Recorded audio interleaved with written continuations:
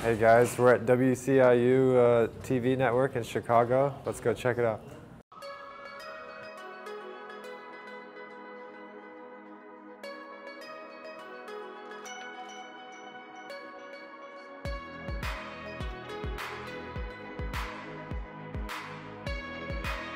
Mitchell Krueger, one, two, three, four, five. Being American and uh, having kind of the hard court summer swing in North America is probably one of the most pivotal points of my year.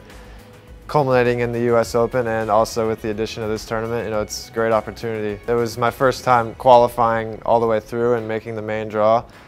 I'd played qualifying there probably six or seven times before and uh, always failed to qualify. So this year was extra special to make my way to the main draw and uh, you know be in the same tournament as a lot of the top guys that you know I kind of have grown up mm. idolizing. It was it was a great experience.